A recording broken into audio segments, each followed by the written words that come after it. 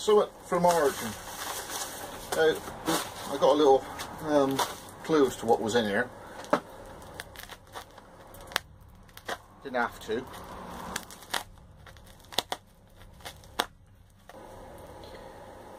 Thank you very much. I shall utilise that. Put it up in my super drawer. So, uh, sharpenings today. I've got what's in here and what's in there. Cool. You tell them well wrapped, don't you?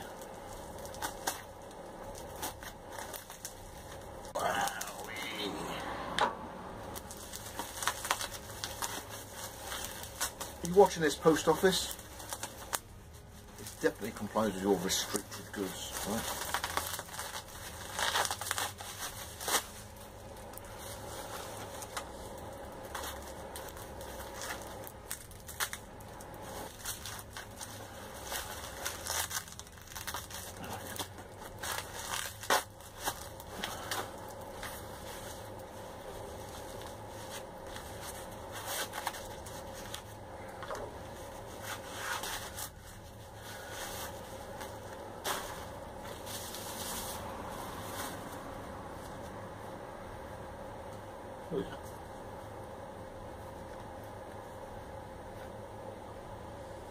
Old school. So this is just when they went to go into 3 mil. It's got a little bit of life on that. I felt that handle profile before, but there. This looks like it's had a a used life. That's what I'd like to see.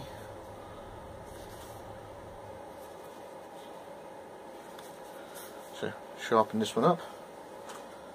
But uh, thanks for the ferro rod and we'll get going on that as soon as possible. So how much rain does it take to fill up a jam jar with a narrow neck? Ugh. Hmm.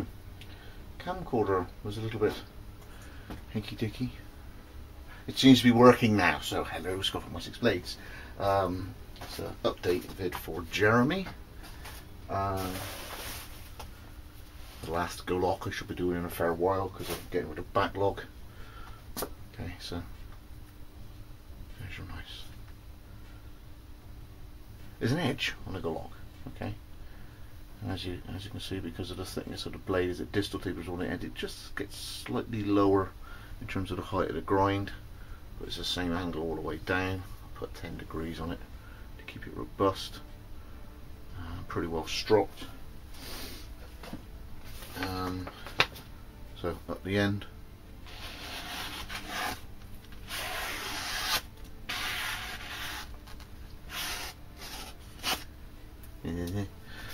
and then business. Okay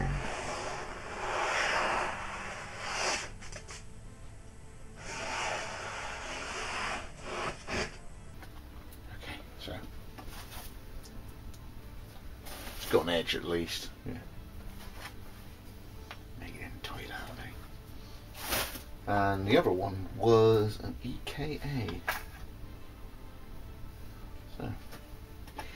this was actually quite nice because I could take the scales off there by put it in the, uh, the jig.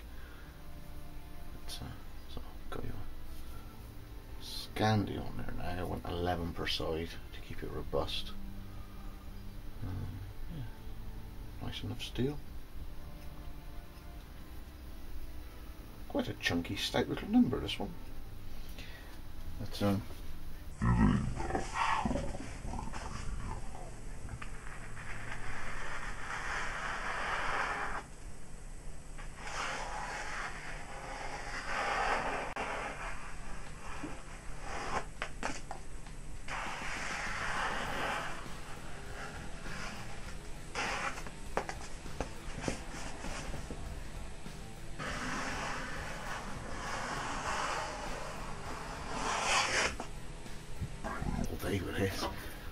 Nice, like that one.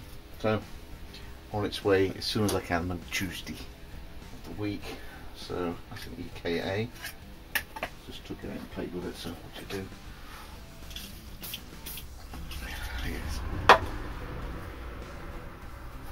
Put that away.